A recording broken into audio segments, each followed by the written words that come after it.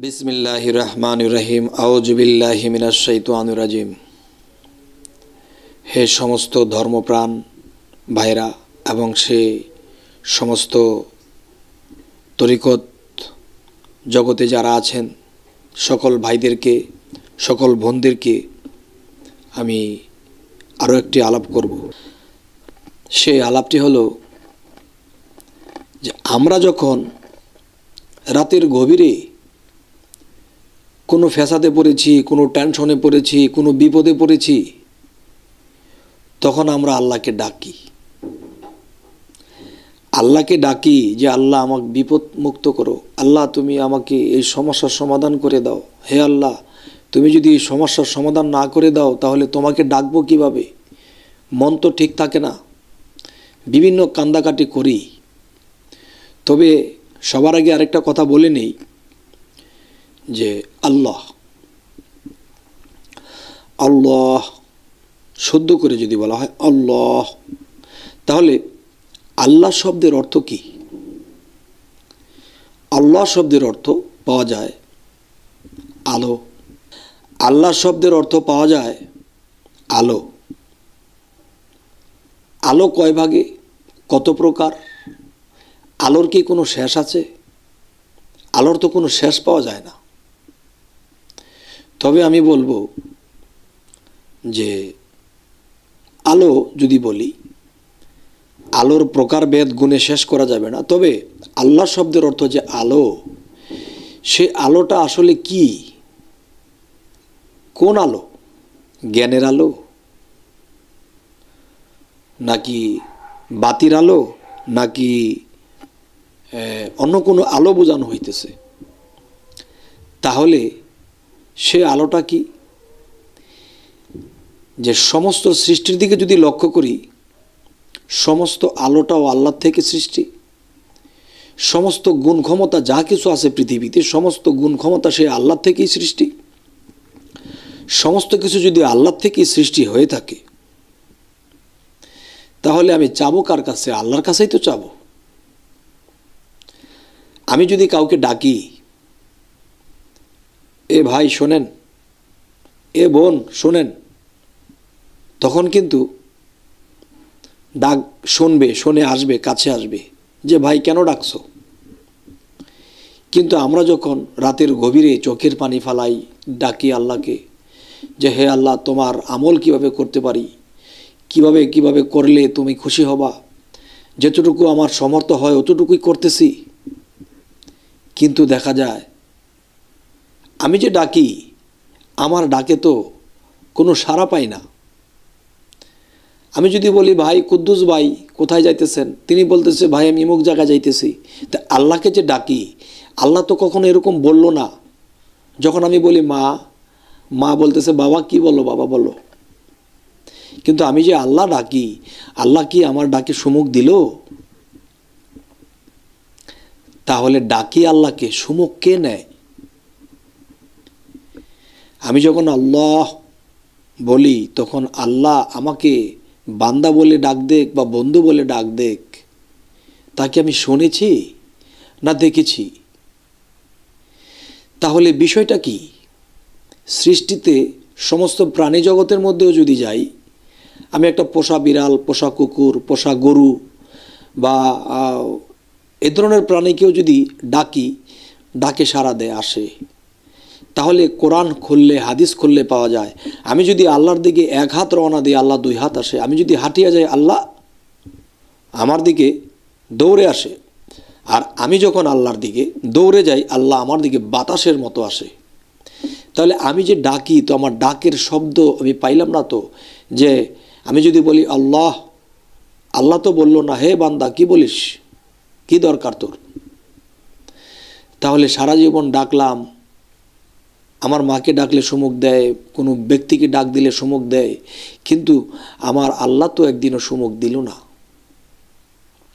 তবে দেয়। তবে দেয়। যদি কেউ দয়া করে আমার এই কথাগুলো নেয়,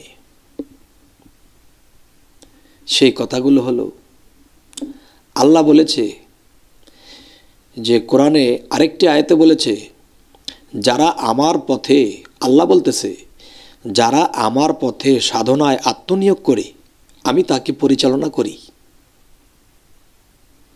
তাহলে এই পৃথিবীতে যদি আমরা ঘুরি, ওলামাগণ থেকে শুরু করে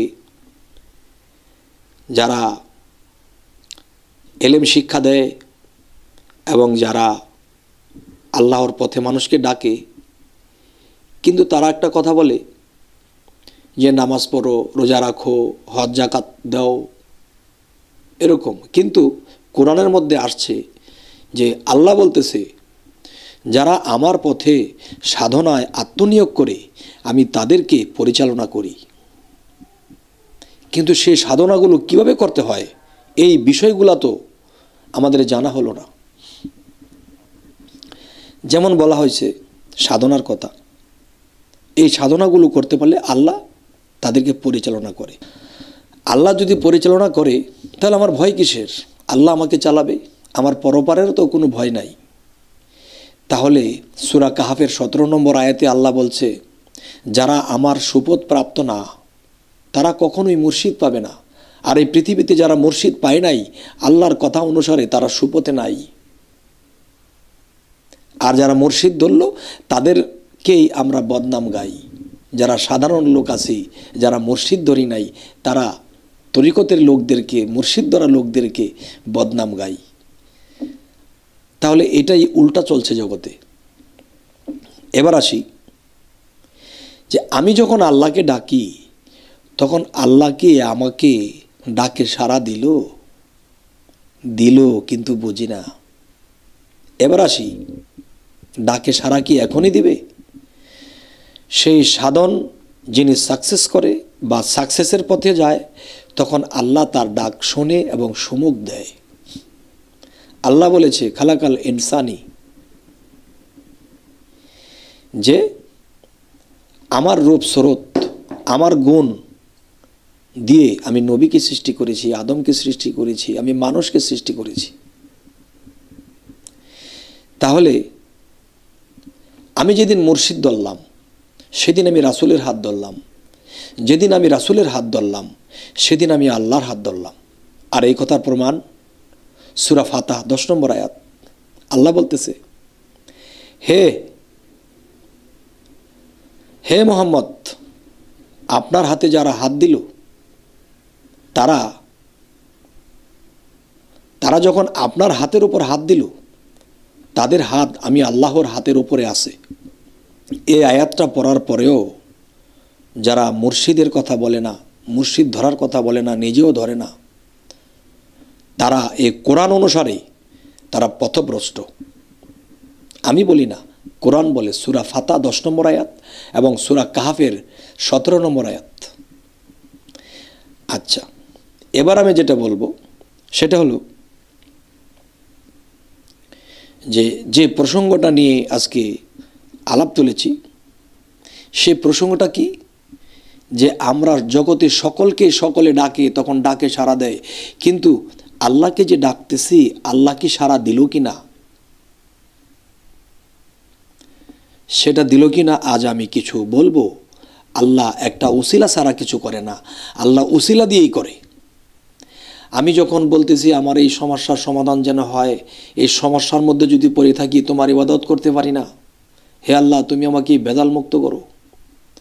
তখন কান্দাকাটি করে যখন রাতের গভীরে ঘুমাইছিলাম, তখন সেই রাত্রে দেখলাম যে মুর্শিদ আসছে, যাকে ফার্সি ভাষাতে পীর বলা হয়। সেই মুর্শিদ আরবি ভাষা।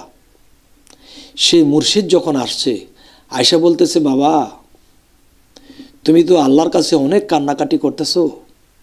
তোমার এই ভেজালটা মুক্ত হবে, তুমি এই কাজগুলো করো আর এই নিয়মটা পালন করো, তোমার এই ভেজাল মুক্ত হয়ে যাবে। তখন সকালে ঘুম থেকে ওঠার পর, হায়, আমার মুর্শিদ আইসা আমাকে বলে গেছে, তুমি এই কাজগুলো করো, তখন তোমার সমাধান হয়ে যাবে। তাহলে আল্লাহ সারা দিল না কোথায়? এই জন্যই তো আল্লাহ বলছে, যারা আমার পথে সাধনায় আত্মনিয়োগ করে, আমি তাদেরকে পরিচালনা করি এবং যারা মুর্শিদ ধরল তখন তারা উসিলা করল। আমি একজন মুর্শিদকে যখন উসিলা করছি, আমার পীরকে যখন উসিলা করছি, তখন পীরের স্রোতে আসিয়া আল্লাহর সেই সুসংবাদ দিয়া আমাকে সমস্যার সমাধানের কথা বলে গেলেন। তাহলে এই সমস্যার সমাধান যদি আমাদের পাইতে হয়, তাহলে আমাদের মুর্শিদ ধরতে হবে। একজন কামেল মুর্শিদ আমাদেরকে ধরতে হবে। আর না হয় কি হবে? যে আমরা সারা জীবন ডাকবো, কিন্তু ডাকের সারা পাবো না।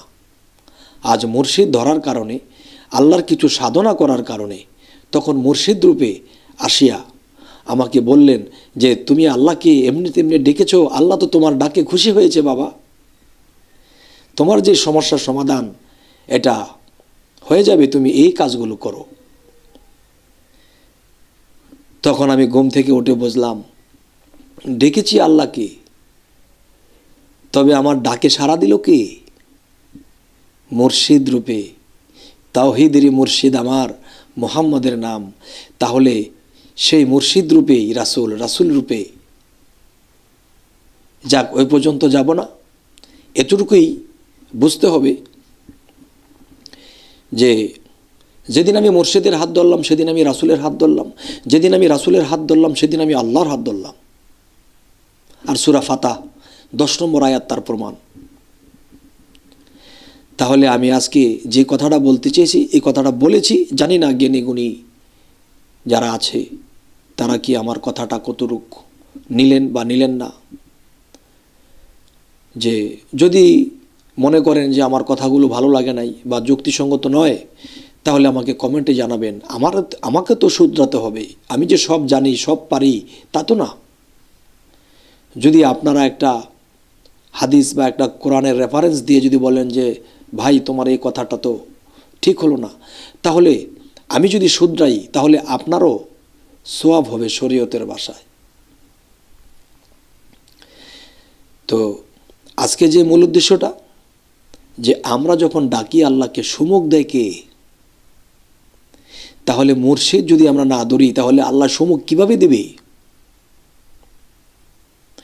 তাহলে কথা যখন আমি মাইকে বলি, তখন প্রকাশ হইতেছে মাইক দিয়ে। এখন আমাদের মাইক নেই। তাহলে আল্লাহ যখন কথা বলবে, আমার কানে পৌঁছাবে কি দিয়ে? মুর্শিদের মুখ দিয়া। আল্লাহ কথা বলবে, আরশো আজমে বসে। আর সেই মাইক রূপে মুর্শিদের মুখ দিয়ে আমার কানে পৌঁছাবে। আমি শুধরাবো এবং সেই নাম ডাক শুনলাম। যখন ডাকলাম আল্লাহকে, এসে গেল মুর্শিদে। মুর্শিদ আমাকে পথ দেখায় দিল, বাবা, তুমি এই করো, তোমার সমাধান হয়ে যাবে। আজ আমি এই কথাগুলো বলেই রাখছি। আরেকটা কথা হলো যে, যদি আমাদের এই চ্যানেলের কথাগুলো আপনাদের ভালো লাগে, তাহলে আমাদের আর শত শত ভিডিওগুলো করা আছে। তাহলে সাবস্ক্রাইব করুন আমাদের বাকি ভিডিওগুলো পেয়ে যাবেন। আজ এই বলি রাখছি। আল্লাহ হাফেজ।